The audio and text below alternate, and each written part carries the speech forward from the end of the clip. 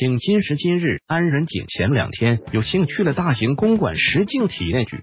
今时今日安仁的发布会现场，观看了此剧的首映。这部剧无论是演员阵容、剧情起伏、光影变换，还是场地选择、表演形式，都很丰富。现场的观剧感受，除了震撼还是震撼。无论是剧情传递的江湖豪情、儿女之情，还是实境体验剧表达的悠远历史。人文艺术在流光溢彩之间，无一不让人为之喝彩。在安利之前，先跟大家讲一讲安仁这个地方。从唐代至今，安仁已经有一千多年的历史了，是一个历史十分悠久的古镇。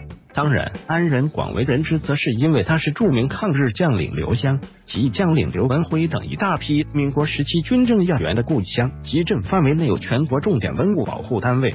国家四 A 级旅游景区刘氏庄园有保存明清时期的刘氏庄园群、刘湘公馆等古公馆二十七座，因此也被冠以“中国博物馆小镇”的称号。安仁位于成都平原西部，隶属于大邑县，距成都四十一公里，开车一个小时左右就能到，是个周末放松的好去处。此处就是正文分界线了。今时今日，安仁实境演艺综合体对古镇中央瓮高公馆、刘元虎公馆。刘元轩公馆、陈月生公馆进行保护性、艺术性的活化利用，结合白天和夜间的不同属性，构筑起独特的穿越时空的文化体验空间。活色生香的大型公馆实境体验剧，极具文化时尚生活方式的小微博物馆群，以及当代艺术三种文化表达形态在这里跨界融合，成为一个以戏剧、博物、艺术为中心，开启一切可能。的公共文化体验的，并逐步成为中国最具趣味性的年代生活艺术馆。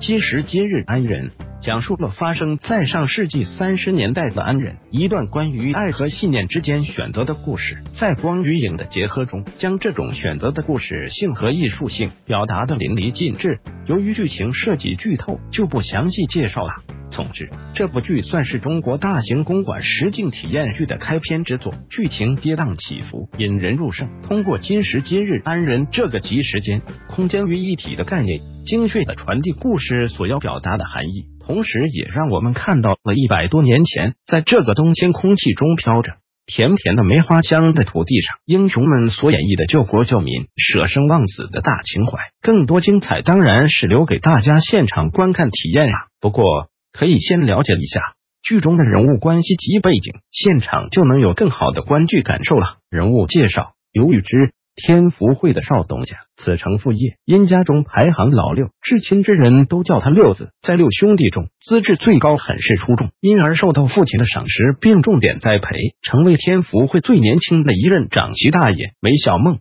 实为贫苦出身，刚出生就遭遗弃。被一对富商夫妇领养，一次聚会中认识了刘玉芝，一见倾心，从此便将他的此生和挚爱如飞蛾扑火般都赋予了这个男人。东堂堂主李继元，天福会的第一把交椅，从小跟着刘玉芝有过命的交情，也是刘玉芝最信任的人，却因为喜欢上一位交际花染上毒品，所有家产被挥霍一空。南堂堂主江云亭早年亡命江湖。时被刘禹之救过，与他有知遇之恩，从此进入天福会誓死效力。他做事能力极强，刘禹之在黑白两道能有如此高的影响力，他功不可没，且忠心不二。西堂堂主赵运，刘禹之的发小，曹商总把头，有点娘炮，但做事极其果断。家境殷实，产业庞大，很有头脑，真谋略，善于谋划和布局。少年时与刘禹之结识，两人一见如故。北堂堂主黄少泽。原政府商行的会计师，很有商业眼光和投资判断。因上次的栽赃陷害，